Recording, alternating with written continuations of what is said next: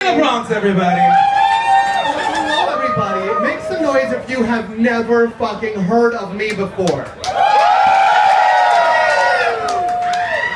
Make some noise if you did once hear about a drag queen that once shat out an apple. I'm so happy we've met. Hello, everybody. My name is Honey LaBronx, and I'm an alcoholic. Good to have some friends with me. And um, I don't know if she's here. Is she? Did Tina Burner make it tonight or no? She was here. I saw Tina. She she Yeah. left. Shady bitch. Well, we were all gonna read our letters to her anyway, right? okay. Tina Burner, your drinking and drugging has affected our lives negatively in the following ways. I'm just kidding. We are not here to intervene with Tina Burner. We are here to celebrate the death of Payne Sutton, ladies and gentlemen. Oh my God! Rude. No? Three people got that joke and they are living right now. Oh, wait. Too bad Haynes not. Fuck the rest of them. First of all, fuck the people that didn't get this. I am not about the 99%. I am a white lady masquerading as a chola. So this is about the 1%. So if you don't get these jokes, elitism.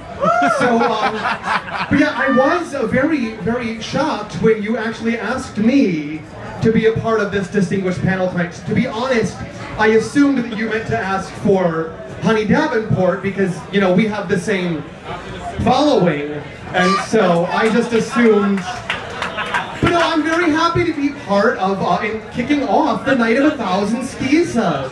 So thank you so much. Um, I did not get paid enough to memorize my lines, so I'm going to be reading from Tina's uh, intervention letter. But you know, Kizha, you have meant so much to me in the little time that I've known you, and I just, I just can't roast you. I'm, I'm not very funny, as you're gonna find out as the evening goes on. But you know what? I, I will say I may not be the funniest drag queen. I may not be the most popular, and I may not be the prettiest. So there we have that. Okay. Um, it is wonderful. Though. Did I get the butt right? The Kizha butt. Kizha, can you stand? Can we do a The side by side? butt? Can we do a side by side? I want to know. See, I finally figured out, emulating her, where she does her tuck. So you see, what it's right here in the back. So she just puts her penis all the way back there. True. yeah, I am a white lady, so my penis does not fit quite that far back. But um, hey, hey, I'll tell you what I am. I am definitely the whitest lady here. No one can take that away from me. And Miss Cracker does not count, despite the name. This bitch has had more black up her ass than well, than Carrie Kerning.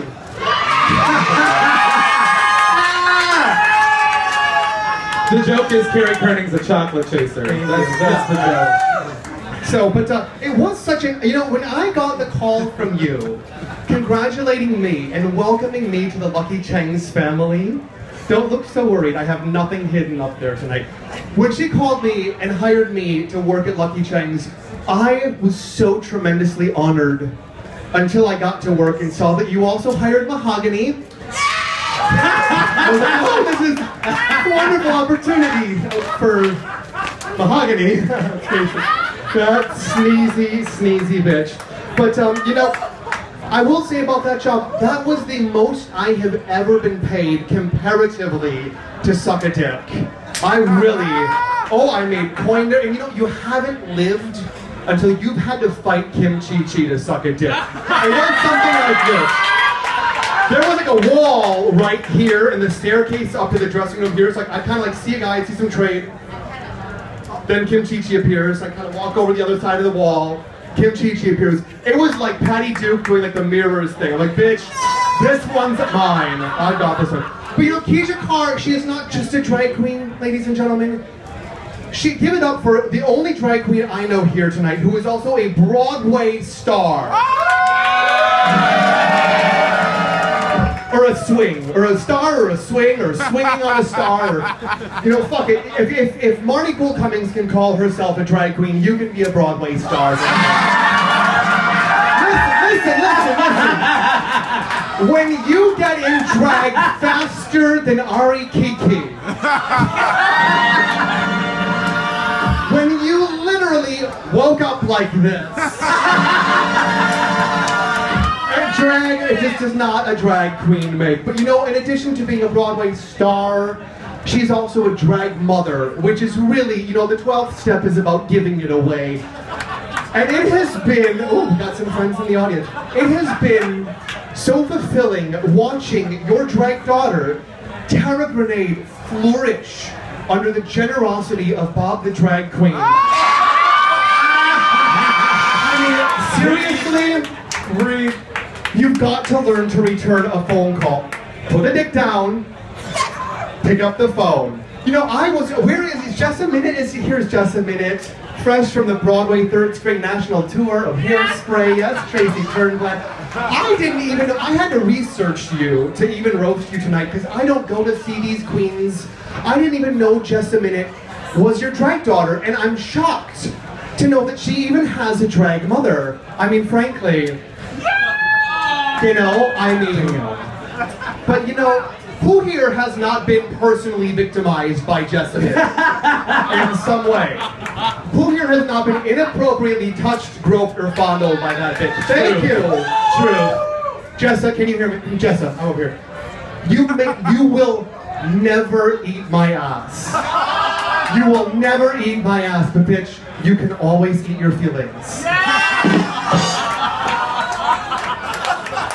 Page two, we're wrapping it up. We're gonna wrap it up here. Um, you know, we even have a co-child together. I even had to name one of your drag children. Ladies and gentlemen, give it up for Nina Levin. The name will hit you. You will get home and you will never forget. I'll just say it that way. Thank you.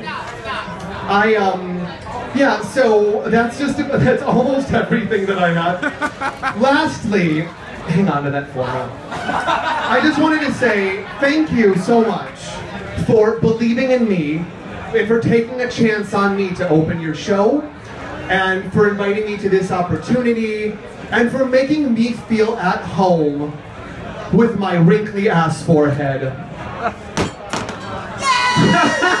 you just You brought your own fucking microphone to drop, bitch.